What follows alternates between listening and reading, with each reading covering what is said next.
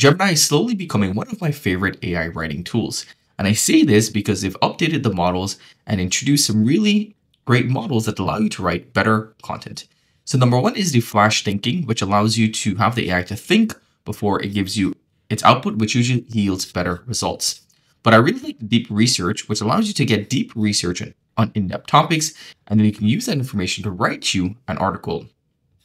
So I'll show you my workflow of how I would integrate Gemini into my AI blog writing.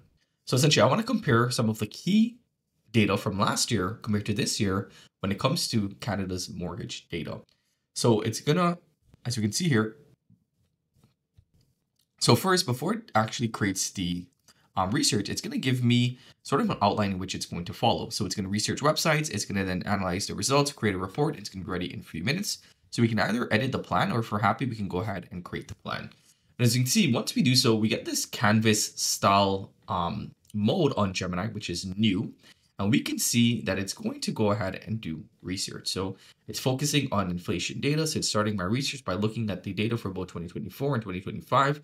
These are the websites in which it's going on to.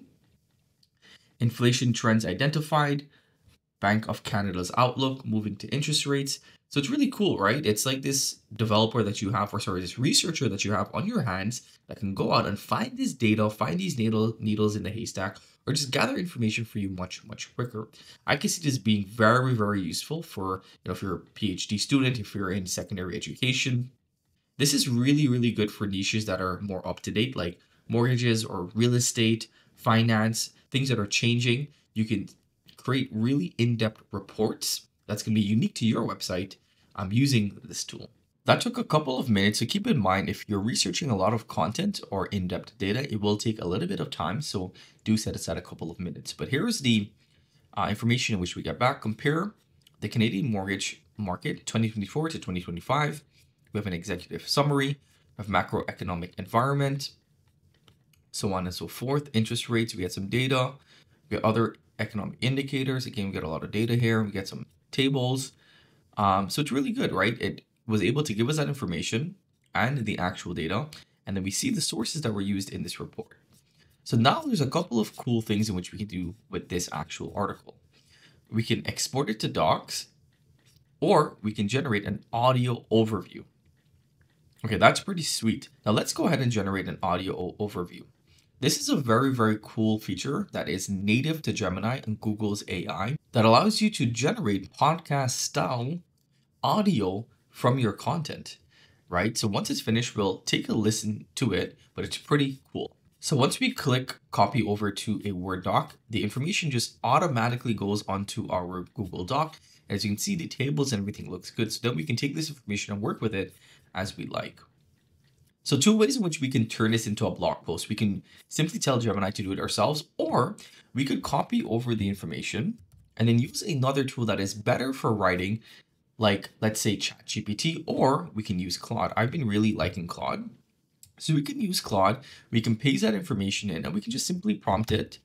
Using this information, I want you to turn it into a blog post, include list tables, charts, bolded words, aim for 3,000 words, include a lot of data, and information write in whatever readability you like. I like to use grade 8, grade 8 and write very in-depth. I'm not really focused on SEO for an article like this because this is more of a data-rich article, right? This is like if you're in an industry, you're creating this clickbait article that is going to have all this information that people will want to link back to.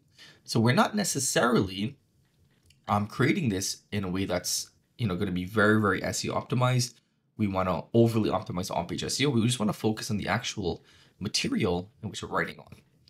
So let's head back over to Gemini and our overview is completed. So let's go ahead and take a listen to this. Hey everyone, welcome back to the deep dive. Yeah. We're all about getting you up to speed on, well, complicated stuff. You know, the kind of things that make your head spin. Yeah. We like to take those complex topics and break them down, make them digestible. Exactly. And today's deep dive, well, we're tackling the Canadian mortgage market. Okay, so that is a really good podcast. There's no other AI tool that does text to audio in a podcast style manner as good as Gemini.